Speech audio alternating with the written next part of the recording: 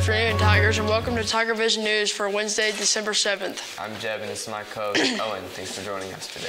Today is a very important day in American history. On December 7th, 1941, the Japanese attacked Pearl Harbor. The attacks ultimately led to the United States' involvement in World War II. Here's more.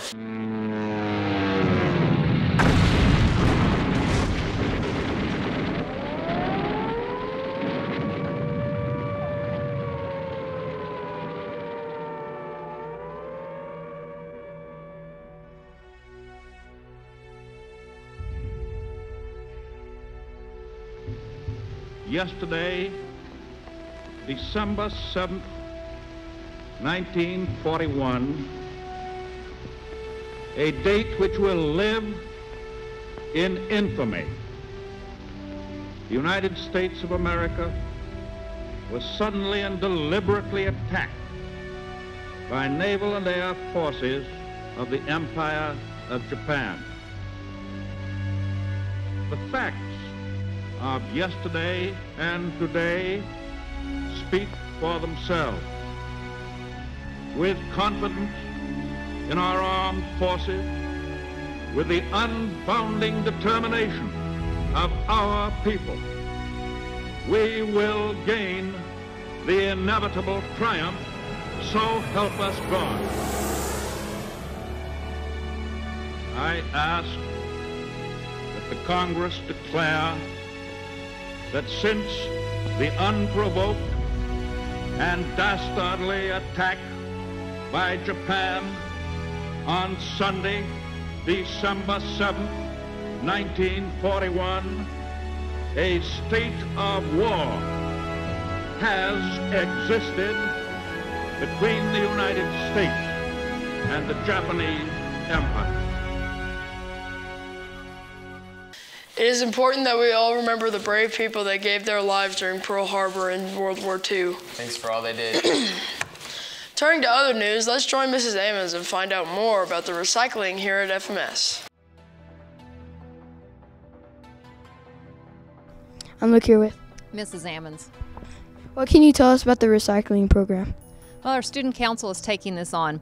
And what's going to happen is every classroom will get a recycling container. Some will be blue, some will be the white box, and we'll put them somewhere in the room. And we're asking that you put your papers in these boxes and containers instead of the trash can.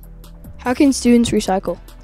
Well, basically, anything that's paper can be put into the, uh, the collection boxes.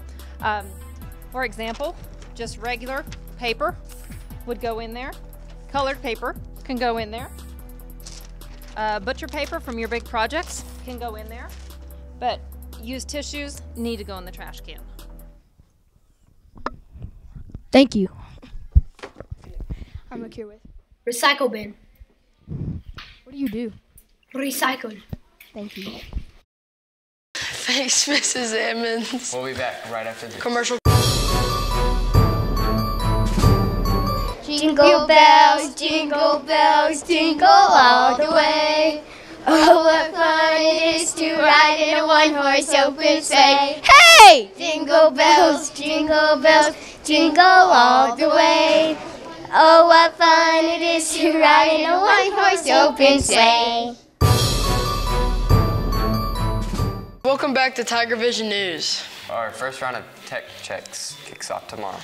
It's the reading test, and everyone at school will take it. Get plenty of rest tonight and do your best tomorrow. We'll take the math tech checks Friday. The band's big Christmas concert is tomorrow. It's here in the auditorium. It starts at 7 p.m. The musicians have been working really hard and would really enjoy seeing you there. Try to go.